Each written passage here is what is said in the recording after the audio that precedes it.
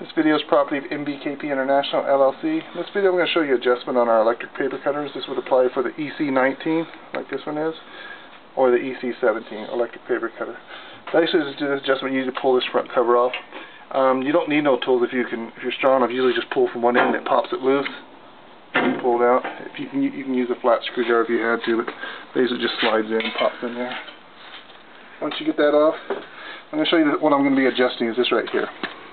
It's basically a sensor. It rides up close to this wheel here, and this wheel turns when it's cutting.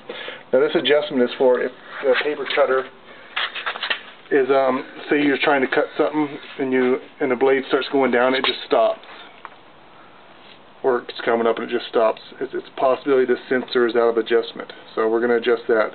Let me show you how to do it. First you want to reset it, and you start with the cut. As you can see this, this um, wheel here it starts here and it comes in here and it's a little bit narrower there.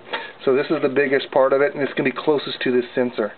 And that's how it knows when to start and start by this the shape of this wheel. So basically you need to move it a little bit. So you just basically turn the, this is going to have to be down when you do it. So I'm going to turn it, bring the blade down a little bit and that wheel will turn. And I'll stop it. Okay, I stopped it right there with the big part of the wheel close to the sensor. This sensor is good because it's only a it needs to be about a sixteenth of an inch away from this edge of this wheel. If it's too far away, you need to loosen these two Allen wrenches here, Allen wrench bolts, and then when, those loose, just slightly loose, you can push this whole thing in, towards this wheel more to where it's just barely away from it.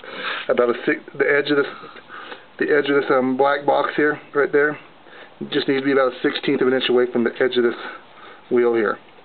If it's too far away from it, it won't sense this right, and it could stop on you in various places. So as long as this is about a 16th of an inch away, and make sure it's the big part of the wheel, because if you if you adjust this towards this smaller part and then you try to cut it, it's going to come, this big part's going to come and hit this thing and break it. So we're talking about the biggest part of the wheel that, that, that comes furthest out. You want this thing about a 16th of an inch away from it. And once it's right there, you just tighten these back down.